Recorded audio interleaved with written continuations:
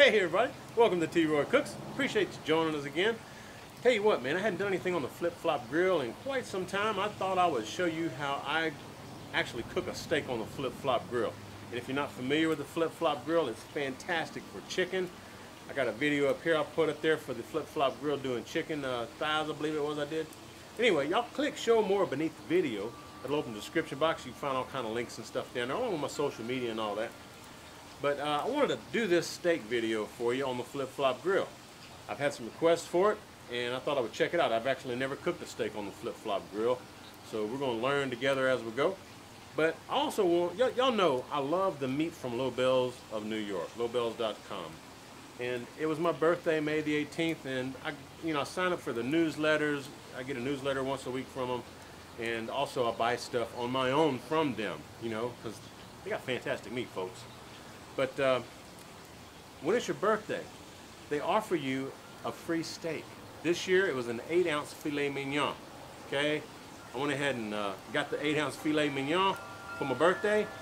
Actually, I'm to cook this for Karen. She likes filet mignon. What I got, I got a 28 ounce bone in ribeye steak for myself. Happy birthday to me. anyway, gorgeous steak, folks. Fixing to cut these open, let them bloom for like 15, 20 minutes. I'm getting my coals going over here, so we'll be cooking real soon. Y'all stick around. All right, gang. I got my coals already arranged in here. Just lay them out flat. And, uh, you know, once they get ashy, lay them out flat in there.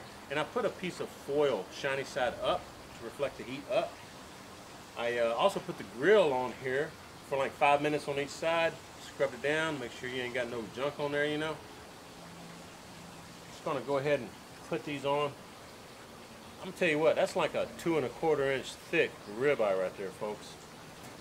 My word. Mm, mm, mm. All right. See if we can get this on here. I'm going to have to squeeze it in. Oh yeah, it's going to work. I wasn't sure I wasn't sure if it's going to work or not. That's a thick steak, man. I think we're good though. Here we go. Got it squeezed in there put this on, just like so. There we go. I don't know how long it's going to take. I've never done a steak on it. We're going to check it out. We'll be back when I flip it. I'll let you know how soon it was. All right, folks, it's been 15 minutes. Uh, again, this is this isn't like a reverse sear type cook because the coals are way down here. You don't get a lot of flame up on this flip and flop grill. This is, again, great for chicken because of that. But it's like a reverse sear on steaks from what I'm finding out. Let's flip this thing over. Let's see what we got here. Uh, beautiful crust. And the bacon and stuff's really coming around on this filet over here. And uh, oh, I got some new gloves, folks. Y'all check these out. These are working really great for me. And they've got the heat resistant uh, stuff on the inside there. Really, really nice. And this, whatever this is, it helps you grip stuff, man. It's really cool. Anyway, uh, nice, nice. Let this go another 10 minutes. We'll probe it. We'll see what the internal temp is because I don't want to overcook this. We'll be back shortly. All right, gang. Let's check the temp. Let's see where we're at. It's going to go in this way, right? You know. Temp uh, 122 right there. Let's check this filet. What filet is tender? Uh, 132. Karen likes hers uh, more well done, like medium well. I like mine more rare. What was it again? 127 right there. Folks, I'm thinking that's pretty close to being done right there. Let's flip these over. Let's see. Uh, let's see what it looks like.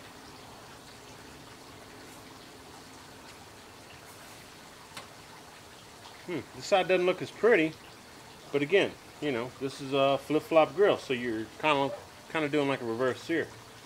I'm gonna let this go maybe another three to five minutes. We'll pull it off. It's been three minutes. Let's go ahead and uh, pull these off. See what the other side looks like. Looks really nice. Let's see if we can get this opened up here and get us some, some steaks. Ain't that pretty? Yes, indeed. Now, what I've done, I've gone ahead and fired up my gas grill, my DCS gas grill over here on my back porch, and uh, we're going to we're going to sear these steaks. All right, folks, my grill is screaming hot. That steak on that one, that steak over there. Give these a couple of minutes on each side, maybe not even, you know, maybe a minute on each side actually.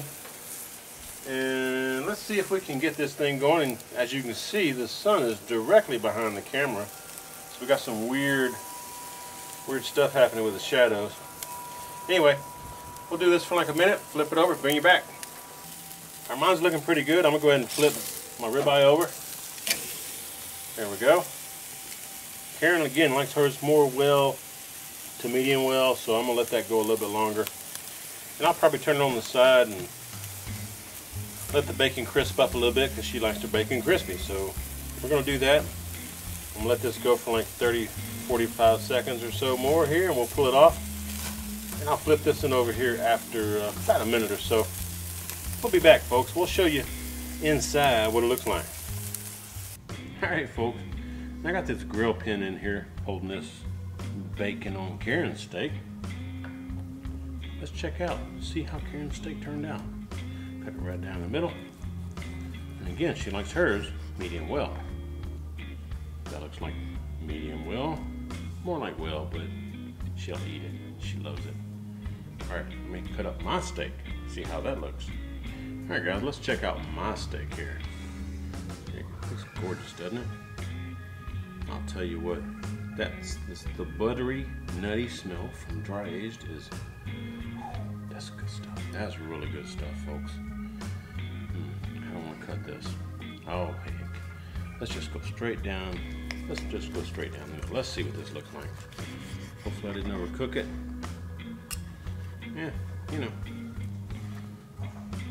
Slightly overcooked, but it's gonna eat good. Really good. Let's let's see if we can taste this. I want a piece of this rib cap right here, folks. That's my favorite part.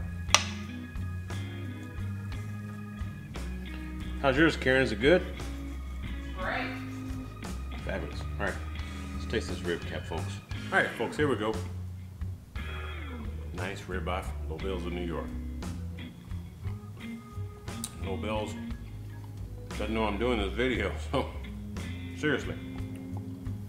I plug them because I love the meat from Lobel's. They never freeze their meat. Hmm.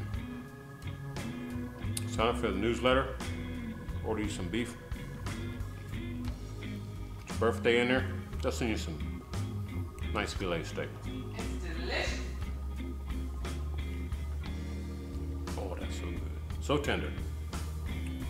Love that dry aged flavor, folks. Hope y'all like this. Check out the links down below for that flip flop grill. Uh, give me a thumbs up if y'all like this. Hope you share the video, and when you do, please tell all your friends. T. Roy cooks responsibly. Cheers, everybody.